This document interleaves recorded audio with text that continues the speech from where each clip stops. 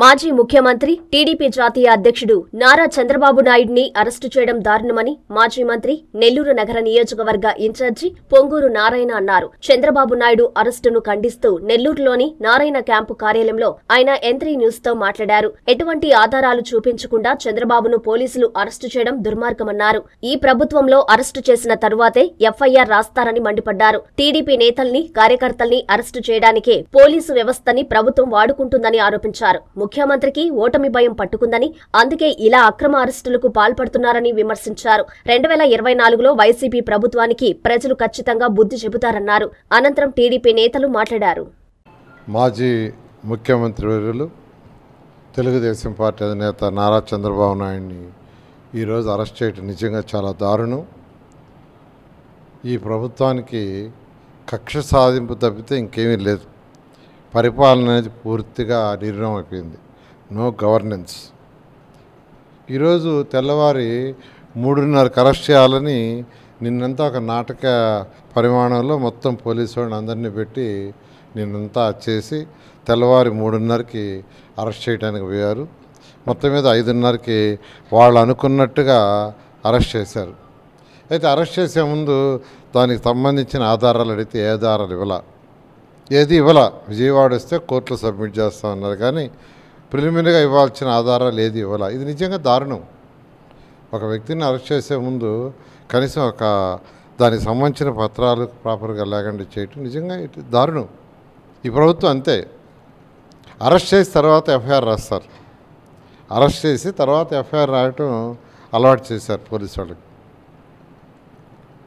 ఈరోజు తెలుగుదేశం కార్యకర్తల్ని ప్రతి ఒక్కరిని చిన్నవాళ్ళ నుంచి పెద్దవాళ్ళ దాకా ఎక్కడికక్కడ హౌస్ అరెస్టు లేదా తీసిపోయి పోలీస్ స్టేషన్లో పెట్టారు.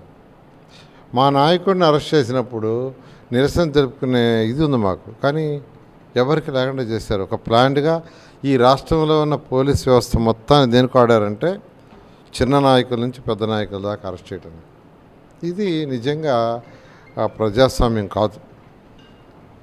భారతదేశం ప్రపంచంలో ఉన్న అతి పెద్ద ప్రజాస్వామ్య దేశం. ఇంత పెద్ద దేశం ఎక్కడ లేదు.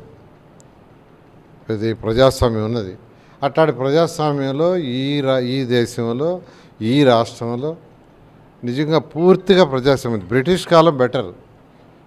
కంపేర్ చేస్తే ఈ రోజులతో బ్రిటిష్. ఎందుకంటే ఎవడు మాట్లాడినా వాడు తీసుకుపోయి లోపలేస్తారు వాడికి ఏదైనా వ్యాపారాలు ఉంటే వాడికి ముగిస్తారు ఇది బ్రిటిష్ పాలన కంటే మరీ అధ్వానంగా జరుగుతుంది. ఇప్పుడు ఫ్రస్ట్రేషన్ ముఖ్యమంత్రి గారికి ఫ్రస్ట్రేషన్ ఏర్పడ్డది ఓడిపోతామని. ఎందుకంటే రీసెంట్గా కొన్ని నేషనల్ సర్వేసు స్టాండర్డ్ సర్వేసు వాళ్ళు ఇచ్చిన రిపోర్ట్ చూస్తే ఈ మధ్య రీసెంట్గా ఒక నేషనల్ సర్వే ఇచ్చింది. చాలా స్టాండర్డ్ సర్వే. ఏమని ఇచ్చిందంటే ఇప్పటికిప్పుడు తెలుగుదేశం ఒంటరిగా ఈ రాష్ట్రంలో పోటీ చేసిన కనీసం పదిహేను ఎంపీ సీట్లు వస్తాయని ఇచ్చింది. కనీసం. పదిహేను కాదు అది ఇరవై రావచ్చు ఇరవై ఐదు రావచ్చు. ఒంటరిగా పోటీ చేసిన దాంతో ఆయనకి భయం పుట్టుకున్నది. భయం పెట్టుకుని ఇలాంటి పిచ్చి చేస్తాలు ఒక వెల్ ప్లాన్డ్గా ఆయన పోయి లండన్లో కూర్చొని ఇక్కడ అధికారులకంతా ఇన్స్ట్రక్షన్స్ ఇచ్చి అరెస్ట్ చేశారు. ప్రజలందరూ గమనిస్తున్నారు. రాష్ట్ర ప్రజలందరూ గమనిస్తున్నారు. ఇది కక్ష సాధింపు. ఖచ్చితంగా రెండు వేల ఇరవై నాలుగులో ఈ యొక్క వైఎస్ఆర్సీపీకి ప్రజలు బుద్ధి చెప్తారు. ఖచ్చితంగా చెప్పడం జరుగుతుంది.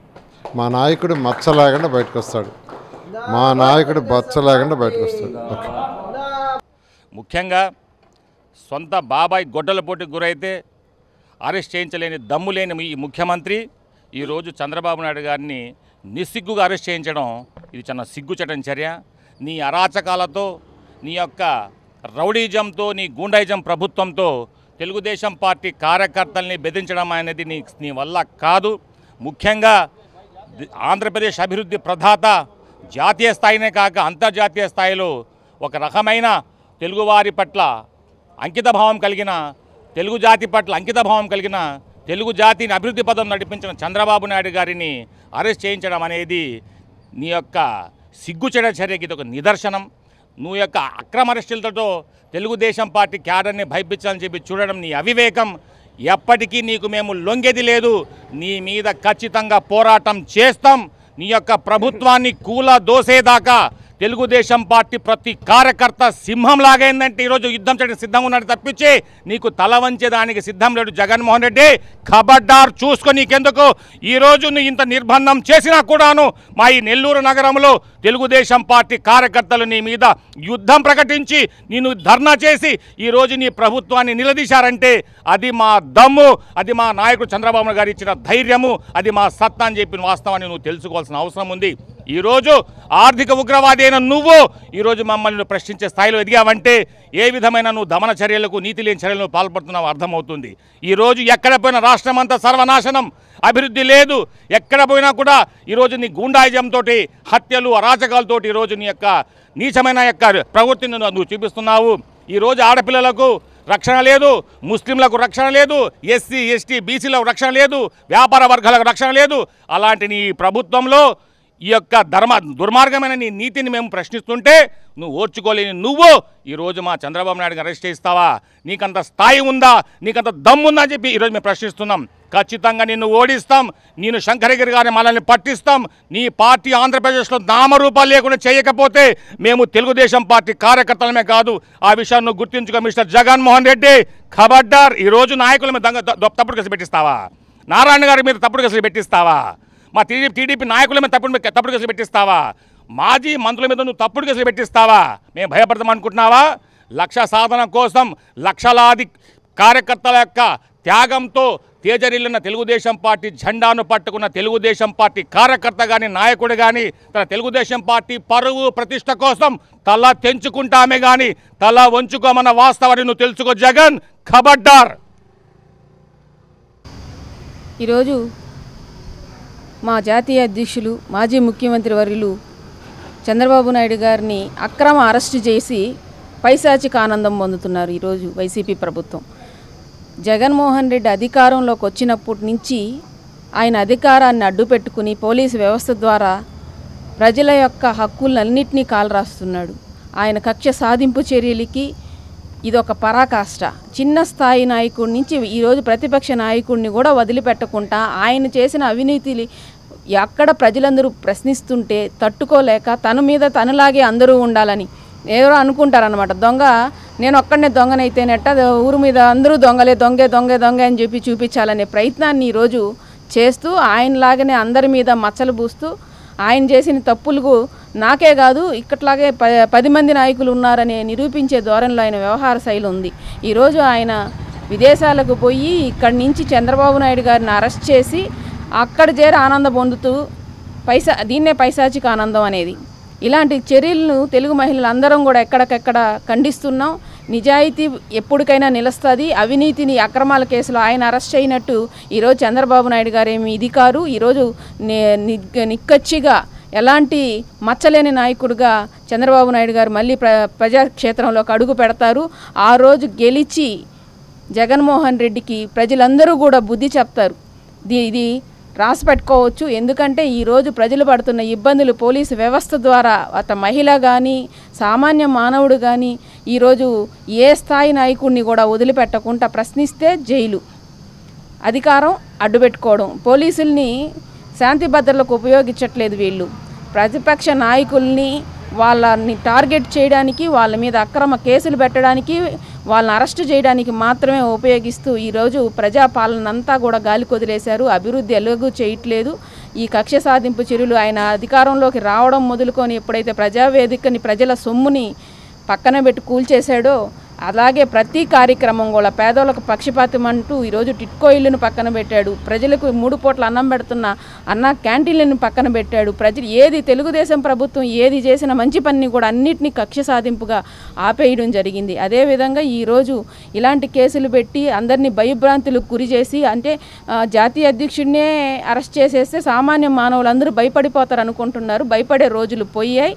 ఈరోజు పులి కూడా లోపల పెట్టి కొడితే ఎలా తిరగబడుతుందో సామాన్య కార్యకర్తలు కూడా ఈరోజు ఇంట్లో నుంచి బయటకు వచ్చి నిరసనలు తెలుపుతున్నారు. రేపు వైసీపీ ప్రభుత్వాన్ని ఇంటికి సాగనంపడానికి ఆయన చేసే ఈ రోజు చేస్తున్న అవినీతిని బయటపెట్టడానికి ముందు ముందు రోజులు ఉన్నాయని ఈ సందర్భంగా తెలియజేస్తున్నాను అందరికీ నమస్కారం. జగన్ రెడ్డి దుర్మార్గమైన పాలనకు తొందరలోనే నాంది పలికే రోజు. దగ్గరుంది. ఆయన రెండు వేల ఇరవై నాలుగులో ఓటమి పాలవ్వడం ఖచ్చితంగా ఆయన మరలా జైలుకు పోవడం జరుగుతుంది. తెలుగుదేశం పార్టీ తెలుగుదేశం నాయకులు నిజాయితీ గల పార్టీ తెలుగుదేశం పార్టీ. చంద్రబాబు నాయుడు గారు చేసిన అభివృద్ధి ఆయన తెచ్చిన సంస్కార పరిపాలన మీలో ఏ కోసాన లేదు. మీరు ఆయన్ని జైల్లో పెట్టే స్థాయి మీది కాదు. ఏదో సిఐడిని లోపరుచుకొని వాళ్ళనేదో భయభ్రాంతులు చేసి ఎలాగైనా కానీ చంద్రబాబు నాయుడిని అరెస్ట్ చేయాలని మీరు పంపించారు. ఇవన్నీ కూడా ఫేక్ పరిపాలన ఫేక్. ఇవన్నీ కూడా ఫేక్ అని అందరికి జనాలకు తెలుసు. తొందరలోనే చంద్రబాబు నాయుడికి బెయిల్ వస్తుంది చంద్రబాబు బయట వస్తారు. చంద్రబాబు నాయుడు అలాంటి తప్పు చేసే వ్యక్తి కాదు.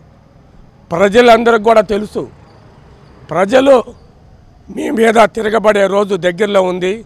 ఇప్పటికే ఈరోజు ఆయన అరెస్ట్ చేసిన దానికి మీ మీ రాష్ట్రం అంతా కూడా వణికిపోతుంది. ఎందువల్ల అంటే మీ పరిపాలన చూసి ఎక్కడ కూడా ఆర్టీసీ వాళ్ళు కూడా ప్రకటించారు. బస్సులన్నీ పనిచేస్తారు చేస్తారు. ఇలాంటి నీచమైన పరిపాలనని తొందరలోనే తాగనంపే రోజు ఉంది చంద్రబాబు నాయుడు గారు ఎలాంటి తప్పు చేసే వ్యక్తి కాదు. అలాగే లోకేష్ లోకేష్ బాబు గారు ఆయన ప్రపంచం మీకు నిద్ర పట్టడం లేదు. మీ పరిపాలనకి స్వస్తి పలికేదానికి ప్రజలందరూ కూడా ఎదురు చూస్తున్నారు. ఇంకనైనా మీరు జాగ్రత్తగా ఉండాలా? ప్రజలు తిరగబడి మిమ్మల్ని రోడ్లోకి వచ్చి రానిచ్చే పరిస్థితి కూడా లేదని చెబుతున్నాం.